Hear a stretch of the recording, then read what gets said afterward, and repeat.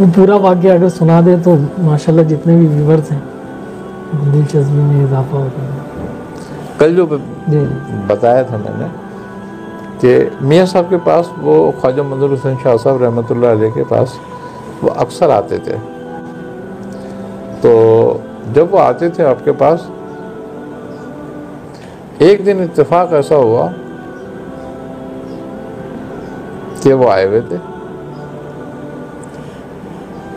और कोई था नहीं। मैं पहुँच गया, मैं पहुँचा जब वहाँ पे। तो दरवाज़ा भिड़ा हुआ था।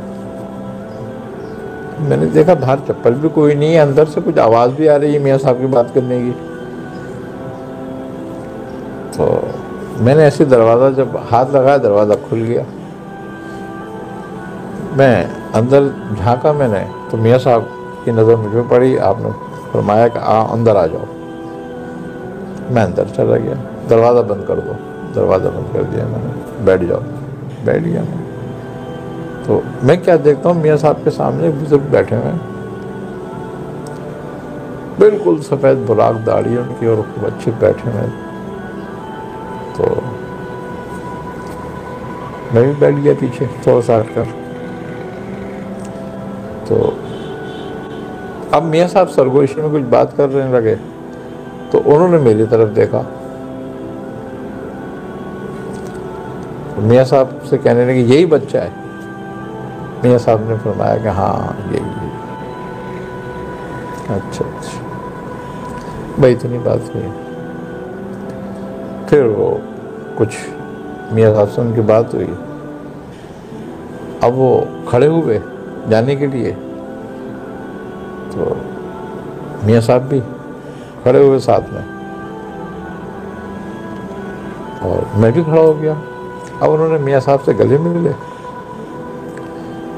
तो मेरे से उन्होंने हाथ मिलाया।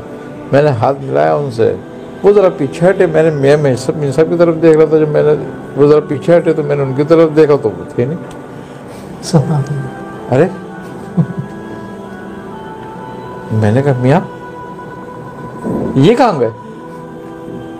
मियाँ साहब हंसने लगे कहने लगे ये हाफिज सुलेमान थे और ये जिन्नात हैं और इनकी उम्र करीबन 1200 साल के करीब है। और ये वहाँ मदीने में होते हैं। अच्छा हुआ तुमने इनको देख लिया एक बार। उन्होंने तुम्हें देख लिया है। तो फिर उसके बाद मेरी उनसे मुलाकात नहीं हुई। फिर एक दफ़ा मेरी मुलाकात हुई हाफिज़ खुदा बख्श साहब से। ये हाफिज़ खुदा बख्श साहब जो हैं हाफिज़ सुलेमान के उस्ताद थे। जिन्नात में से। जिन्नातों में से थे और इनके बारे में मियाँ साहब फरमाते थे वो उनसे भी ऐसी बस सरसरी वो भी मियाँ साहब के पास ही थे। तो मेरी तो उनसे खैर ज़्यादा बात नहीं हो पाई थी सरसरी सी मुलाकात थी वो एक उनसे। तो मियाँ साहब ने फरमाया कि ये इमाम मोहम्मद जो हज़रत अली के बेटे थे इमाम मोहम्मद बिन हनफा। ये उनके गुलामों में से थे।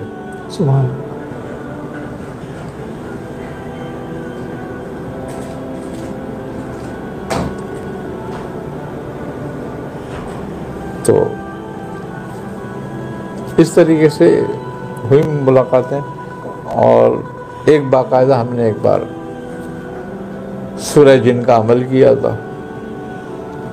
तो उसमें कुछ उजिन्ना से मुलाकात हुई थी।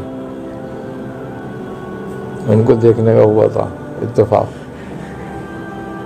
अब हर आदमी समझता है कि भाई जिन्नात इतने आसानी से आ जाता है, ये हो जाता है, वो हो जाता है। ऐसा नहीं है। और कभी भी जिन्नात को मुस्तखिर करने के लिए या ताबे करने के लिए अमाल नहीं करना चाहिए।